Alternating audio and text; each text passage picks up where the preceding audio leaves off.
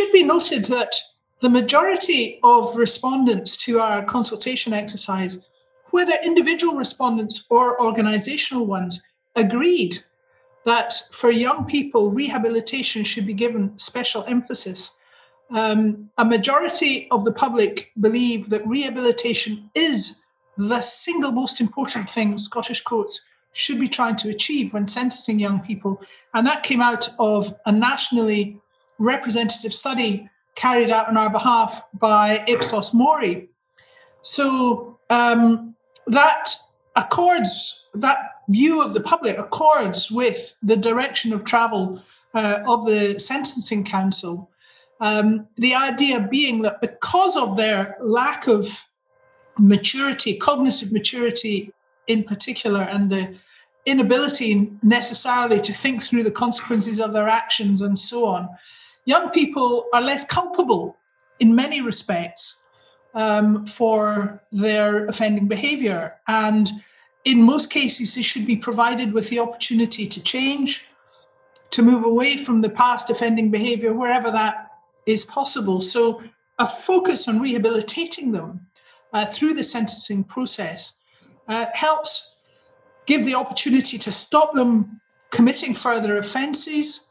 And that would be beneficial to society as a whole, obviously.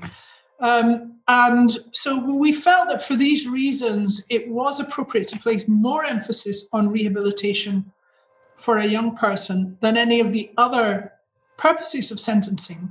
But that doesn't mean that the other purposes of sentencing aren't still relevant to the young person.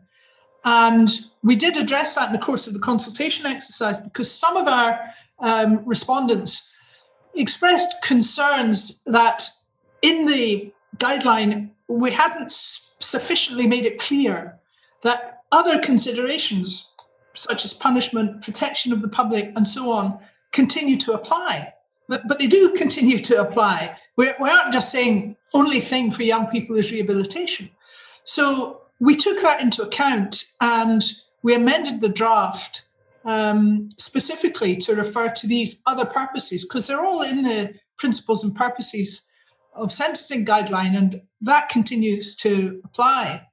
Um, so th- th- that's the those are the main reasons. Um, another element of it was, and this features in a, a number of different um, aspects of the guideline that the sentence on a young person can be disproportionate compared to uh, an older person.